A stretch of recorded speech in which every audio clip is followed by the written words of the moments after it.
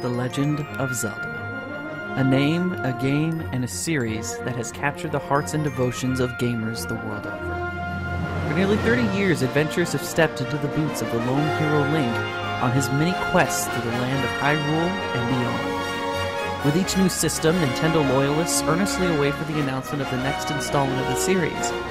And with each new adventure, we are reminded again and again why we love this world, its lore, and unforgettable characters we meet along the way. That love has driven and produced a following and fandom that is expressed beautifully in art, music, and cosplay, to professional performances, and even adaptations to other gaming genres. We've come so far in our journeys that we might forget how much we've actually gone through. It's been so long since we've played our favorite game that we might not be sure why we loved it in the first place. Most of us have that particular level or entire game that we just can't stand or haven't touched and don't know what we've missed. And everyone can benefit from stepping back for a minute or two and appreciating our beginnings, our experiences, and the potential for the future. With all these things in mind, I invite you to join me as we take a look at all of the games blessed with the title Legend of Zelda. And we will start with the game that started it all.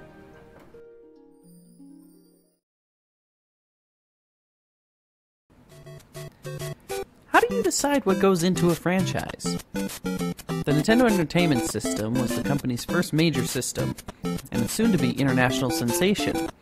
Over 800 titles would be made for the NES, a number unmatched until the Game Boy Advance 18 years later. And obviously, not all of them would deserve or even need later installments. Aside from Super Mario, which had already claimed the position of Nintendo's mascot, how do you decide which unique titles will live on? While many factors can go into answering that question, it wouldn't take a degree in marketing to see something special arriving in Japan in 1986 and in the United States the next year. Without even looking at its title, you could tell Nintendo had high expectations for this game. All you had to do was look at the cartridge.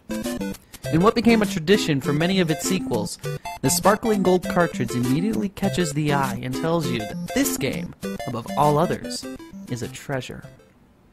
The gold casing is a reflection of the time and effort spent in developing the game, as well as the quality of the game itself. The team in charge of creating The Legend of Zelda was the same one in charge of Super Mario Bros., and worked on both of them at the same time. Ideas would be sorted into what would work for Mario and what would work for Zelda. Both games focus much more on the adventure of the game rather than just getting points, although Mario still kept score. But the Zelda universe began from its introduction and story as a personal adventure to explore a world and then save it. The general story behind the original Legend of Zelda is quite simple. With such little processing power and minuscule memory space, seriously, you can take pictures with your phone using more data than what this thing had to work with. Very little of the plot could actually be explained in game. All you get is a paragraph in the opening sequence explaining that to avoid Ganon getting the Triforce of Wisdom, Zelda split it into eight pieces that you now have to recover. There is, however, more to the tale. But to get the full story, you had to refer to the game manual. If you do, what you find is a simple yet dramatic story of a country and a princess in peril. Hyrule is described as a little kingdom amidst an era of chaos. The only thing significant from this land involved tales of the Triforce, golden triangles with mystical powers. One day, the country is invaded by an army led by the proclaimed Prince of Darkness, Ganon, who is successful in stealing the Triforce of Power.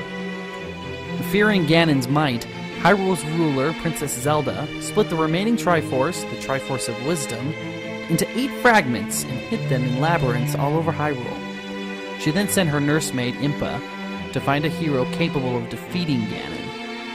Upon discovering this plot, Ganon imprisons Zelda and sends soldiers after Impa. Impa is nearly captured when a wanderer appears and drives off the assassins. It is this young man that Impa implores to collect the pieces of the Triforce of Wisdom and thereby gain the power to defeat Ganon and save the princess. The name officially given to this young man is Link, and there are a number of reasons why Nintendo chose that name. The most important, though, is the connection or link that this character is supposed to be to the player. After you leave the title screen, you're taken to a registration screen and are allowed to input your own name for your Link. Once you do, that Link is your representative in the adventure. No longer are you controlling some other pre made character. In a real sense, you're playing as yourself. And what happens from then on is yours alone to react to and deal with. This sense of personal connection is enhanced by how you continue your journey. Before Zelda, when you ran out of health or lives in video games, you either had to start over from the very beginning of the game, or were given a set of images or symbols as a kind of password system to put you back to a set point. The Legend of Zelda cartridge contained a tiny battery that kept the game's memory intact after the game turned off.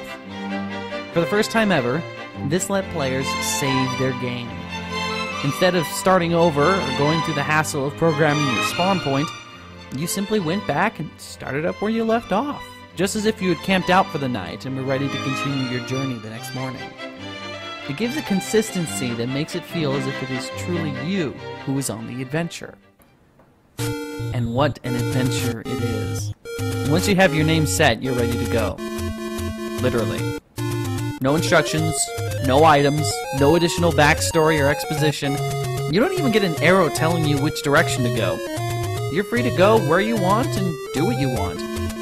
This freedom is both refreshing and daunting. Unlike Super Mario Bros., where you have a defined start and end point for each level, you instead have an 8x16 overworld that from the very beginning you can reach nearly every nook and cranny of, provided you have the skill to make it there. That's a lot of ground to familiarize yourself with. And with no map and no direction, there's no guarantee that you won't accidentally wind up somewhere you're not ready for. But for those willing to brave the dangers, this freedom allows players to explore in whatever way they see fit. You can go get your sword and start looking for the first dungeon. You can collect rupees and go shopping for some needed items. Or you can just wander around and familiarize yourself with Hyrule. In fact, with hidden rupee caches and some skillful work, it's actually possible to go through the entire game up to the final boss without having a sword at all. But it's dangerous to go alone. Take this. Even with sword in hand, it's very easy to feel overwhelmed by what you're expected to do. Three heart containers means you have, at most, a measly six hits you can take before you're done. Your tiny shield gives you minimal defense from projectiles, and it seems like nearly every enemy is faster than you are. That anxiety is strengthened even further when you take a closer look at your sword. Your brown sword. Holy it's made of wood. You've been given the equivalent of a large stick to fend off moblins, octoroks, and very soon Stalfos, and worse. Things don't get any easier when you finally locate the first dungeon. The music immediately alerts you to the fact that you are in enemy territory, which gets even worse when you're near the end of the dungeon and can literally hear the boss in the next room. And unless you really got used to the controls, you're as frantic as you were at the start of the game. The only real difference between here and the outside occurs when you finally locate the map and compass. Now, finally have a defined destination and a path to get there. That tiny difference gives you an objective to center your attention and calm your nerves. You're better able to focus on each individual room because you know that you're actually making progress towards your overall goal. As you move through the labyrinth, you learn the basic rules of dungeon crawling. Some enemies have items, some rooms require you to defeat all the enemies. You get to push blocks, find keys, open doors, and obtain your first treasures. By the time you defeat the first boss and gain a piece of the Triforce, you start feeling like this game is actually beatable. Soon you start noticing secrets everywhere, both in dungeons and in the outside world. Some are spelled out for you, while others are a secret to everybody. Over time, you learn dungeon locations, where to buy the best items, and the only real challenges come from the dungeons themselves. That idea of eventually familiarizing yourself with your world is exactly what the designers had in mind. After several hours of working your way around time and time again, Hyrule is as much your backyard as the one sitting behind your house. Even the dungeons have a string of progression. The first few dungeons have only a room or two with high levels of difficulty, with the bosses testing your timing and control. As you move forward, the dungeons become more complex and challenging, but with the appropriate upgrades to your sword, health, and defense, you're always able to eventually overcome. Honestly, it gets to the point where just getting through the dungeon is a great deal worse than dealing with the boss. In some extreme ways. Once you get to the final few dungeons, the game reminds you how far you've come by sending you through a gauntlet of former enemies and bosses that, at this point, are almost laughably easy. Eight dungeons later, you've finally completed the Triforce of Wisdom. And with a hint from the last dungeon, you're finally able to find and assault Ganon's lair, which is, for once, appropriately named Death Mountain. The music has changed, every room is filled with enemies, including some new ones, and the entire dungeon is half the size of the overworld. With more hidden passageways and bombable walls than ever before, you're required to use all of your wits and skill to find the final key to Ganon's defeat and make your way to where the Prince of Darkness awaits your challenge. It's as nerve wracking as when you started the game, but now you're armed with your developed skill and past success, giving you confidence right alongside your nerves. And succeed you must, for you have truly become the hero who will save Zelda and the land of Hyrule. A quest that from this point on we will soon and gladly take up again and again. It's interesting to see just how far The Legend of Zelda has come from its beginnings 30 years ago. The stories have become more elaborate and expansive. Technology has improved the graphics and gameplay.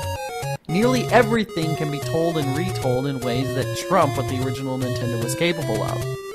Yet so much of what makes Zelda Zelda comes back to this original game.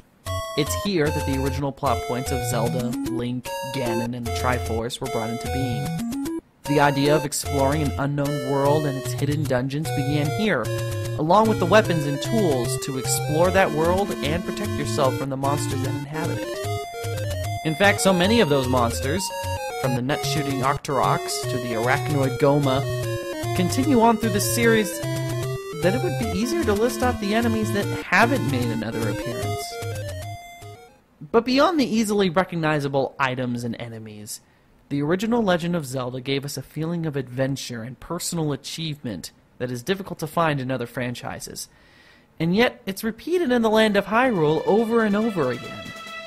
With its ability to make the player feel like they are truly the ones on the adventure, The Legend of Zelda in many ways pioneered what we know today as the role-playing game game consoles. And yet the franchise has, for the most part, kept itself away from that formula instead giving us an adventure that is challenging to both video game prowess and puzzle solving skills. Those challenges, coupled with the environment and story, make it feel like you are accomplishing something more than just one more boss defeated one more level cleared. Every item obtained or puzzle solved is a victory, and it's marked with its own fanfare. As you progress and grow in strength and skill, you become exactly what the land of Hyrule needed a hero. And while heroes may ride off into the sunset after all as well, we know that we will always come back when Hyrule, Zelda, and the Triforce call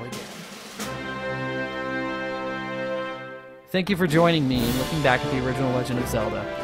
There's way too much from this game to put into one video, so if you have a favorite moment or aspect of the game that you want to share, leave a comment and let me know about your love for this game.